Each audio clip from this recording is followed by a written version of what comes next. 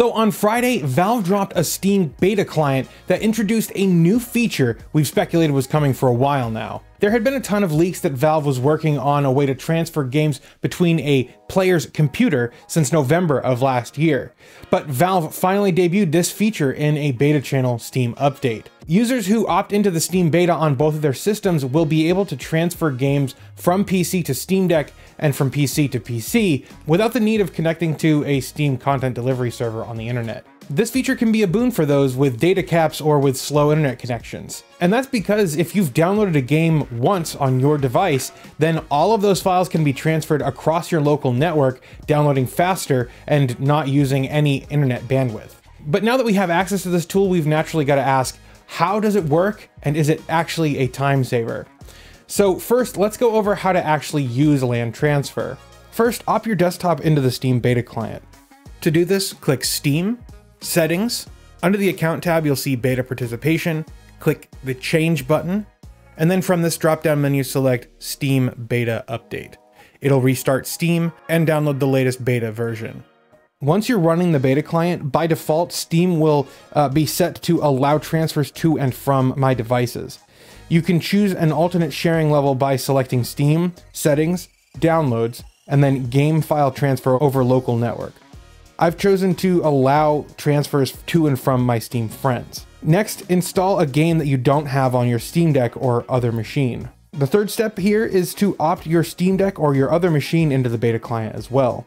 To do this on your Steam Deck, hit the Steam menu, go to Settings, under System, scroll down to the Beta Participation section, and then choose Beta from the drop-down menu.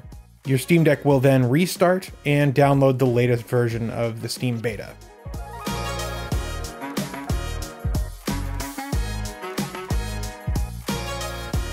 On the Steam Deck, by default, it will be set to allow transfers from my devices. On the Steam Deck, you can navigate to Settings, Downloads, Game File Transfer over Local Network. The fourth step is once the game has finished downloading on your PC, start the same game downloading on your Steam Deck or other device. You should then see this purple graph showing that the game is being uploaded from your PC to your Steam Deck. It's interesting to note here that in my testing, transferring a game from PC to my Steam Deck was only marginally faster than it was to download the game over the internet. I have a fiber connection here that tops out at around 32 megabytes a second, and that is megabytes per second. What I find interesting is that Steam seems to have throttled local network sharing to around 36 megabytes per second, which is nominally faster. Now, why would they do this? Well, you can see that when Steam is sharing files, it consumes a not insignificant amount of system resources. Most modern networks can easily support 1 gigabit throughput, yet we're doing a quarter of that here. If Steam were to triple the network throughput, it could easily consume over a quarter of all CPU time and increase disk usage. Not to mention, it could overwhelm your local network too. And seeing as LAN transfers are only marginally faster for me than downloading directly from Steam's CDNs, I'd like to see an option to allow me to utilize much more of my LAN speed. Of note here, while I can download games to my Steam Deck from my PC, the reverse is not possible. Perhaps this is a battery consideration, who knows. It's reflected in the UI too. The desktop client mentions to slash from my devices, while the deck only says from my own devices. This feature allows your PC to transfer files to and from other PCs or Steam Decks on your local network, reducing your internet traffic while downloading or updating a game. And on the Steam Deck it says, if this is enabled, Steam allows to transfer game files from other PCs on your local network, reducing your internet traffic while downloading or updating a game.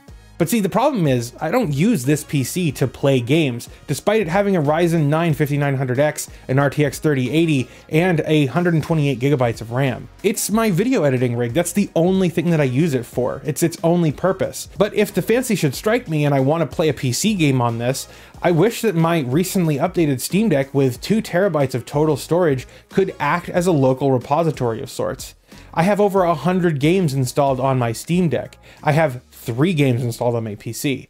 And I get it. I mean, my use case here is definitely uncommon, at least it is today. However, the Steam Deck's broad appeal and the fact that it is several of my friends' first encounters with true PC gaming means that my situation is becoming less rare.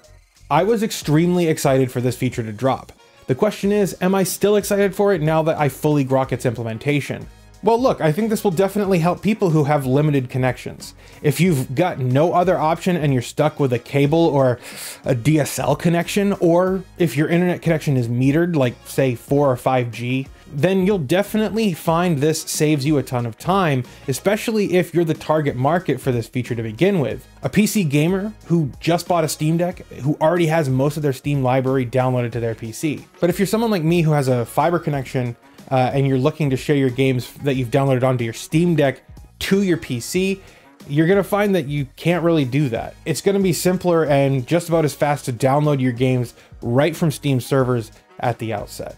But it would be cool for someone who has a, a cable connection that's slow or a data capped home service to take their Steam Deck to the library and download games or somewhere else, and then come home and share those games with the PC. The way Valve has implemented this, you simply can't do that right now. Now, I want to know what you think about all of this because you probably have a different situation than I do. Well, will you be using this feature to save you time and bandwidth? I would love to hear your thoughts in the comments below. Now I gotta ask you a question. Why haven't you liked that smash button yet? It keeps you up to date with all the cool stuff that we're doing here on the channel. You can also subscribe if that's more your speed. Uh, you've got a couple days left to sign up for the Steam Deck giveaway that's going on on my website.